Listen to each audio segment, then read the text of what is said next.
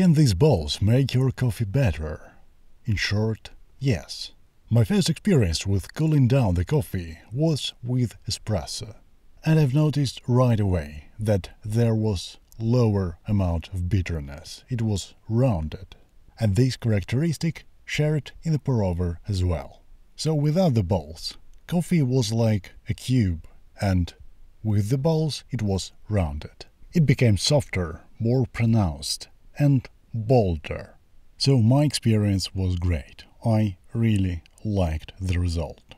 Let's talk about how it is possible. We know that the coffee contains a lot of volatile compounds. And these volatile compounds, when we drink the coffee and it contains them, we exhale. And then when we exhale, we perceive the flavor. And because coffee is a hot liquid, when we're brewing it, the aroma escapes the liquid because of simple physics.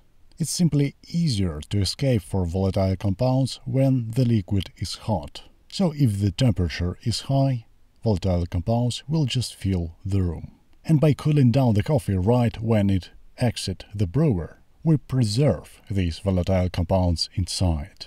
Of course, you don't need to chill all of the coffee, only the first portion, like one third of a beverage, at least for pour-over and perceived saturation of such beverage will be way higher. So, if the coffee was like flat-ish, it will be very pronounced.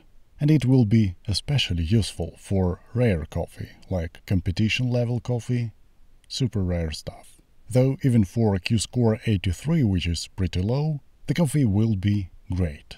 If there is something to preserve, it will work. On practice, I don't see it in a coffee shops, at least if they serve specialty coffee, yes. If they don't, it doesn't matter. Because chilling down these balls will take time, energy, it will slow down the workflow. So for me, it's best use at home or at super specialty coffee shop. As for the device itself, it is relatively nice. I don't sure about its longevity, but it looked okay. The main thing that it is adjustable. So it's practical enough and beautiful. Will I want it in my coffee corner?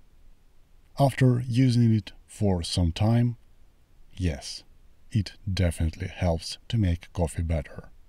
But as an alternative, you can always make a Turkish coffee, because it will somewhat preserve the flavors. And by the way, it will be good to try it with Turkish coffee because that way we could possibly have even better experience.